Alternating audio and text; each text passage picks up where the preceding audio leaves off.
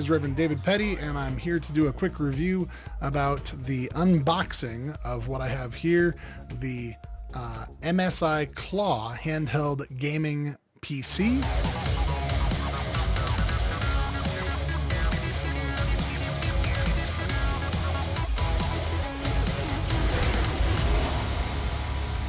I've done an unboxing also of the Lenovo Legion Go, also of the Asus ROG Ally, and you can check those out as well here on our channel. And I'll also be doing a review of all three handheld consoles and a comparison. Handheld gaming PCs, my bad. So let's check it out. First off, I want to tell you that I did get this from Newegg. So here's the box from Newegg. As you can see here, uh, nice packaging from Newegg. Looks like just about any other box that you're ever going to get from Newegg. It says Newegg on it. But what's most exciting is what's inside. Uh, it is interesting to note that this box does come kind of um, fully packaged. So I'm going to be curious to see what's inside of it once I open it up. So let me grab my handy dandy scissors. Let's check it out the unboxing of the unboxing. Right off the bat, it is a package that is excited to get out of the box. Lots and lots of air packaging stuff in here. Let's get all this stuff out of the way. Because really, we don't care about any of this stuff that's in the box. We care about what's inside this box. This box for the MSI Claw, brand new handheld gaming PC. Let's check it out on this screen. MSI Claw handheld gaming PC, brand new. So looking at the box, looks very similar to the Lenovo Legion box or the other box. I mean, they're all very similar size. By comparison, here's the Asus ROG Ally box, a little bit smaller. And do I have the Lenovo box somewhere nearby? Uh, I do. Actually, the Lenovo Legion box was pretty big because it came with a case as well. I'm curious to see, does the handheld MSI sent come with a case. So, the MSI claw, there's that side of the box, that side of the box, this side of the box contains the serial numbers and stuff. Now, the major thing to note here that's a little bit different than all of the other consoles, handheld gaming PCs, they all run on AMD uh, architecture. This one runs on Intel and their Arc gaming processor. So we'll see what that looks like once we open it up and how well it actually runs. Um, form factor, at least on the outside of this, looks almost identical, like they came out of the same factory even. The buttons are the same shape as the Asus ROG Ally. Um, we'll see if that actually affects performance or if it's just a very, very similar um, build. But the back, from what I saw in pictures, looks very different. So let's check it out. It's a little bit more challenging with scissors, but it can be done. Okay.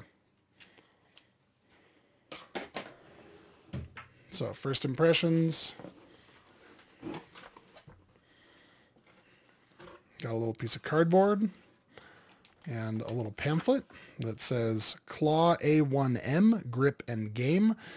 Now, I do know that there are two different versions of this. This is the slightly lower grade version, but in looking at the specs, they actually aren't that much different, and the pricing's not that much different either, which I thought was very different than the Z1 processor versus the Z1 Extreme found in the Asus ROG Ally. But uh, yeah, so far, step one, it says plug it in. Step two, power it on. Step three, run Windows updates. Step four, MSI Live update. This is one of my biggest complaints about these handheld gaming PCs is they are running Windows, and so you do have to run through a lot of updates. So first, let's take a look at the actual handheld. Nice, sleek, black, feels almost identical to the uh, Asus ROG Ally.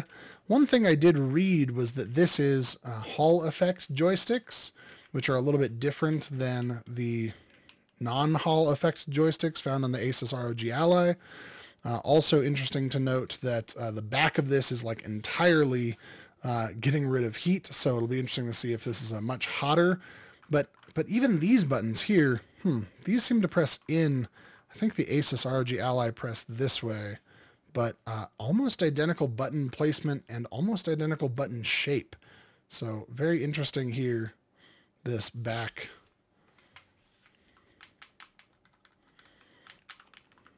Okay, it's running an Intel Core Ultra 5, which is also, I understand, a new processor specifically for their handheld gaming PCs. Let me show everybody on this camera here. This is what it looks like.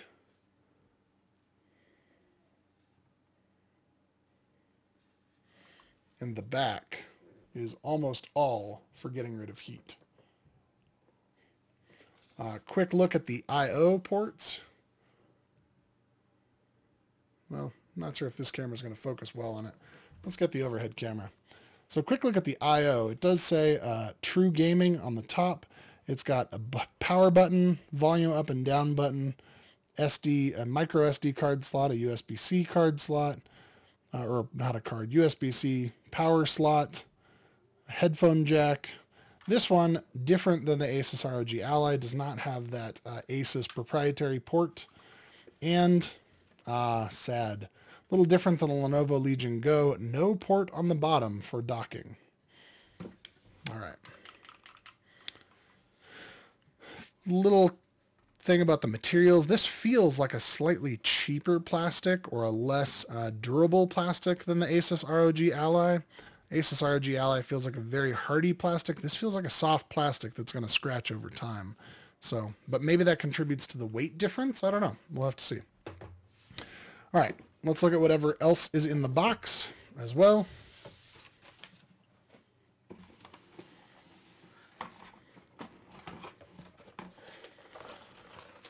All right, other things in the box looks like a fairly large power brick. I'm presuming nothing else in these sides. Yep, that's all just packaging.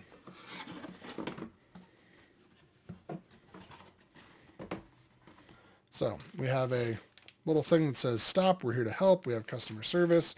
I've had mixed reviews about MSI's customer service, and holy cow, what a power brick, considering that this thing is only, how many watts? Does it say on here? Mm, does not say. It probably says on the actual power brick. But this comes with a traditional power cord and a whatever kind of power slot that is, the three prong power. I mean, this is a hardy cord. This is like pulling for your, you know, microwave. And then we've got a pretty significantly sized power brick that converts it all to USB-C for power. Let's see how many watts this is pulling. 65 watts. Okay, and I think the others are 65 as well. So, so far I've been most impressed, uh, I think, by the Asus ROG Ally. Has the smallest power brick of the bunch. Okay. Let's plug it in and get it running. I will say one of the things I do like about having a much larger cord is it is also longer. I think out of all of the handhelds I've reviewed. This is the longest cord. It looks like, I don't know, almost 10 feet of cord. So you could plug in wherever you want and still be able to game wherever you want. All right, I've got the power. Let's plug in, turn on, first impressions. Also curious, this button looks similar to the Asus button. Uh, the Asus button does have a fingerprint sensor on it, which is kind of a neat feature. We'll see if this one does as well. Oh, and I suppose we could probably take off the protective. It appears that there's a protective thing on here. There we go.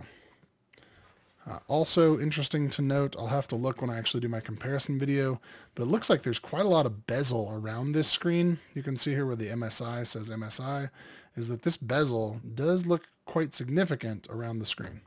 So little power LED. All right, so we start up with a little MSI logo.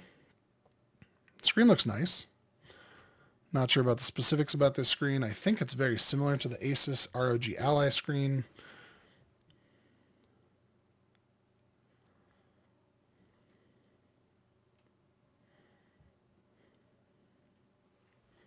here we go with the MSI Claw probably going to be just like the others that it's going to boot up. And first thing, it's going to have to run Windows updates, and then it's going to have to run MSI updates.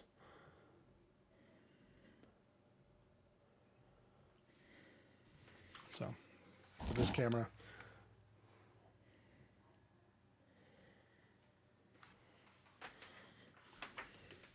Sure enough, first we have to choose updates, United States, all this kind of stuff. All right, so right off the bat, this fan is starting to get loud and it's not even doing much. So it will be interesting to see what the heat dissipation is like on this compared to the others. All right, well, I'm going to go ahead and cut off the unboxing video here and tell you to go check out my review video. I'll give you a full review of this once I've spent a little bit of time with it, as well as a comparison in which I'm going to show side by side by side all three of the gaming handheld consoles that I have and uh, handheld PCs, handheld gaming PCs. I'll show all three of the handheld gaming PCs that I have and let you take a look and decide which one is the one that you think is the best.